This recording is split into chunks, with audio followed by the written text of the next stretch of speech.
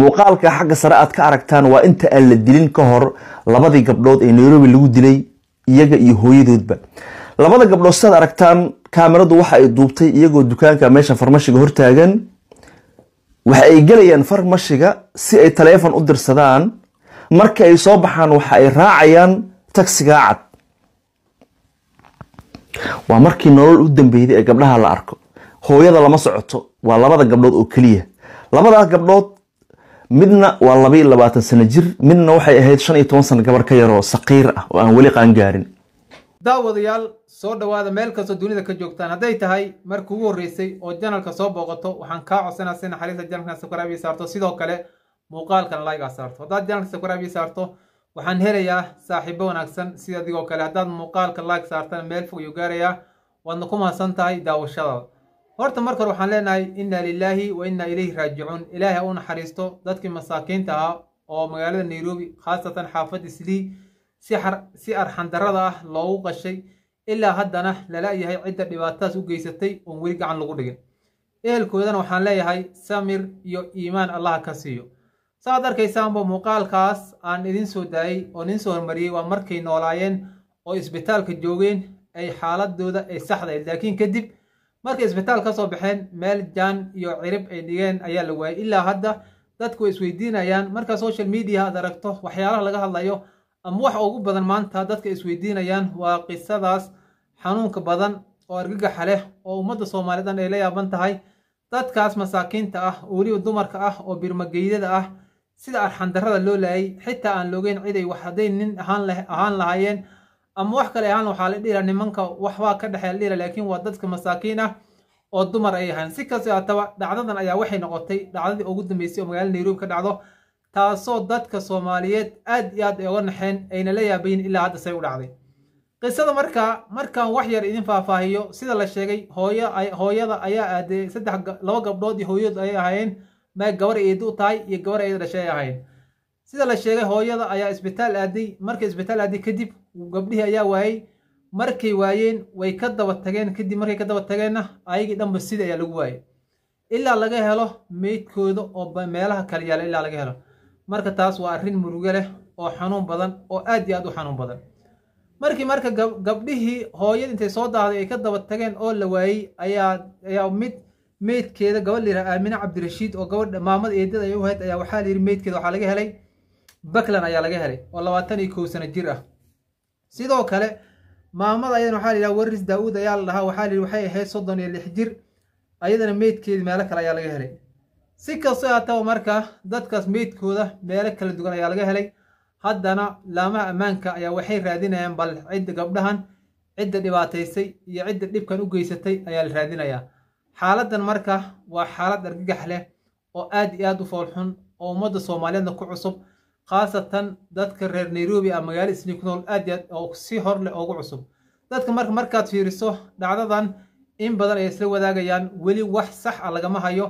Maamadaas ee ciyaalkeeda waxa loo laayay cidda dishay ilaa hadda weli wax akhbaar ah oo sax ah laga himala laakiin waxaa loobaa un in ayagoo caafimaad qabo oo fiican isbitaalka intay maamada tagtay ciyaalkan ay ka dabagaleen kadibna la waayay si kastoo haataba horta waa ummad soomaaliyeed waa gabdho soomaaliyeed waa hooyooyinka annaga waa walaalahanaga waxaan leenahay ciddii xaqdarrada u geysatay dadkaas masaakiinta ah oo dhibaato u geysatay ilaahay ha soo qabto ilaahay bannaanka keeno. Waxaa la yidhaahaa dhiigga islaamka marna ma qarsoomo.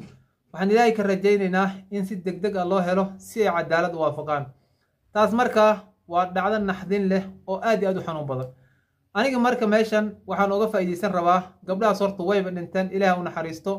Cidda dishayn ilaahay ha soo qabto waxaan marka meeshan oga digi rabaa ummadda soomaaliyeed ama gabdhaha soomaaliyeed ood arkayso ayagoo bigibigi raacayo ama gaari saaran ama keligood ayagoo ah nin madow ah intay raacaan oo meelo kale iska aadayaan aad arkayso war waxaan leeyahay adduunka adduunka aad garan jirteen maahan dhibaatada way soo korortay culeese ayaa yimid dadki aaminka waa ka dhammaaday maanta iska dhaafe kii aad garanay iska dhaaf kii walaalka ahaa ayaadan isku aaminayninbo. Xaaladahaas waxaa koosgareeyey xumaantii oo badatay dadkii oo ayaga dhan dugaag isu bedelay adduunkii adduunkii oo hallaaway oo ahayn adduunkii aad garan jirtay ahayn oo aaminaadii ay halowday wax kastay hallaaween aniga marka waxaan leeyahay war dumarka soomaaliyeed iyo cid kasta oo bahalkii ah is ilaaliya.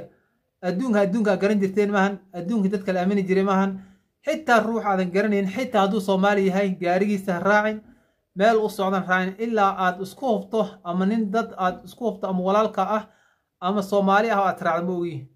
Xaaladdan marka waa xaalad dhacdo aad u daran oo aad iyo aad u naxdin badan oo welina aan lagu arkin geyiga afri oon hadda aan ognahay oo ma dad dhinta waa la arki jiray dad dad dilana waa la arki jiray marar badan ayaa wax la dila laakiin xaaladdan maanta magaalada nairobi khaasatan xaafadda islihii ka taagan. Xaalad horey loo arka maahan. Waa la yaaban yahay. Xitaa waxaa leeyahay dad sheegto oo bal loo daba raaco bal cidda dishay say say yihiin. Xaalad say tahay la ogaado. Ilaa hadda warar laga hayana ma lahan. Si kastoo hata waxaan leenahay gabdhahaas masaakiinta ah iyo hooyo iyo hooyadooda ciddii falkan u geysatay ama dhibaatadan in u geysatay ilaahay ha soo qabto ilaahay waxba kuma dhamo wax kasta wuu awoodaa wuuna soo qaban karaa wax ilahay untay ku dhihi ma laha si kastoo hata marka faatixada aan u soo marno dadkaas walaalaheen ah oo dadkooda lilaayay in dadkaas cadaalad ay helaan si deg deg ahna loo helo faatixada waa muhiim. Wax kastana ducada ayaa ka muhiimsan. Marka soomaaliyani waxaan leeyahay is-ilaaliya oo isku bata. Hadda markaad magaalada socoto ama aad habeenkii baxdo waxaad arkaysaa gabdho keligeed iska socoto ama gabdho keligeed iska socdo ama gabar keligeed socoto oo xilli dambe socoto. War meesha saad ku ogeyd maahan. Adduunka waa isbedelay. Culeysaa yimid. Waxyaalo badanaa yimid. Dadka markay culeys ku yimaado ama ay gaajoodaan wax kasta ay samayn karaan. Aniga marka waxaan leeyahay war aan is ilaalino khaasatan weliba gabdhaha. Wiilash ayaga waxay kaga fiican yihiin gabdhaha. Wiilash waxay isula socdaan dhowr dhowr isula socd dad badan ayagoo ahay isula socdaan. Laakiin gabdhaha inta badana ayagoo halhal u socdo ama lablabo u socdo ama saddex saddex u socdo ay arkaysaa haddaad habeenkii magaalada aado war marka waxaan leeyahay soomaaliyay aan is ilaalino aan isku badnaano aana samayno wax taxadar la yidhaah laakiin haddaad maalinkaad iska socoto dhibaatada dhibaato kastana ay kugu dhacdo maray wax ku gaareen ama dhib uu kugu dhacay ama lagu cunay ama lagu dilay waxba kuuma tarayso inaad dhahdo saanay saanay ahayd saanay ahayd inaad dhahdo waxba kuuma tarayso waxaa fiican marka intuusan culayska kuugu imaanin ama dhibaataysan ku soo gaarin inaad lafahaada ka digtoonaato ama lafahaada ilaashato ayaa fiican si dhibaato aysan ku soo gaarin. Biyo marka waxaa la yidhi intaysan ku soo gaarin ayaa la iska moosaa. Si kastoo haataba dadkaas walaalaheen ah oo birmageydada ah oo soomaaliyeed oo gabdhaha iyo dumarka u badan dadkii dhibaatadan u geystay waxaan leeyahay ilaahay ha soo qabto si kastoo haataba ilaahay wuu awoodaa. Daawadayaal wixii warar ah ka soo kordho ama ka soo baxo meeshan ayaan idinkugu soo gudbin doonaa. Hadda waxaa socdo baaritaan dheer oo la wado bal si loogu helo dadkan si loogu helo dadkan inay cadaalad helaan ama ciddii xasuuqan ama dumarkan masaakiinta ah dhibaatada u geysatay. Waa leelaya insha allah idinkana waxaan idinka baryayaa ama aad ugu soo ducaynaysaan in la helo dadkii dadkan dhibaatada u geystay. Soomaaliya marka waxaan leenahay muuqaalku u dheeraaday inaan saa u soo marrabin in yar rabin uga hadlo aan isku badnaano aan iska dayno waxyaalahan aan dhibaat aan mar kasta dhibaato nooga soo dhici karto. Nin kastana naftiisa ha ilaashado maadaama waddan qurbo aan joogno. Daawadayaal muuqaalka sii sheergaray asxaabtiin la wadaaga waad mahadsantihiin